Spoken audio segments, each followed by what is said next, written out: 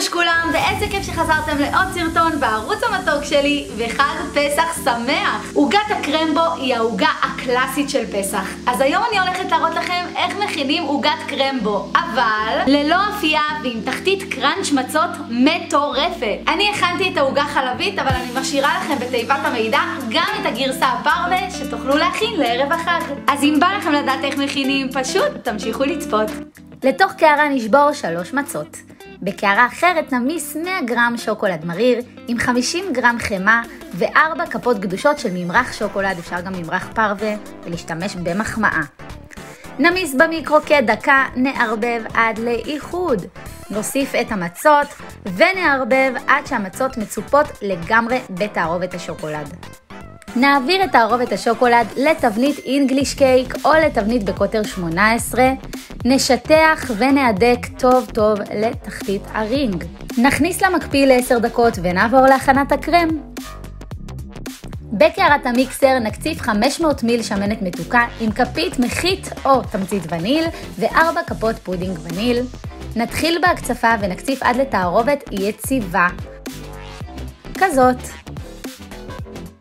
נעביר את הקרם לתבנית מעל התחתית שהתייצבה ונמרח. אני אוהבת לנקות את השוליים עם נייר סופג לקבלת גימור מדויק. נכניס למקפיא ל-10 דקות ובינתיים נכין את הגנש. בקערה נשים 100 גרם שוקולד מריר עם 100 מיל שמנת מתוקה ונמיס במיקרו כדקה, נערבב לאיחוד ונשפוך מעל הקרם שלנו.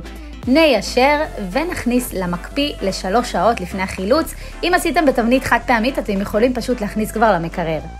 לאחר שלוש שעות אני מחלצת ומוציאה את נייר האפייה בקלות, מחלצת עם ברנר, ואם אין לכם ברנר אפשר עם מגבת שטבענו במים חמים ופשוט לשים מסביב לרינג. מחלצים. ציפיתי חתיכות מצה בשוקולד מריר ושמתי במקפיא, ועכשיו אני צובעת עם אבקת צבע מאכל זהב, בצורה כזו עם מברשת, וקבלו איזה קישוט מושלם לעוגה. שמרתי שתי כפות מהקצפת לקישוט למעלה, ואני משתמשת עם צנטר טיפה ומזלפת בצורת זיגזג. קצת אגוזים לקישוט, ואני שמה את השברי מצה שלי.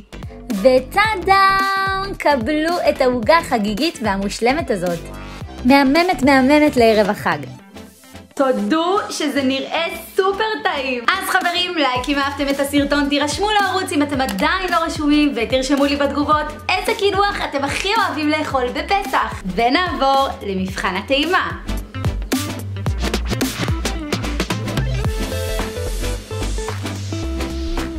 Mm. אתם שומעים את הקראנץ'? חבר'ה, רוצו להכין אחת העוגות הטעימות לפסח. תודה רבה שצפיתם, ונתראה בסרטון הבא. ביי יוש!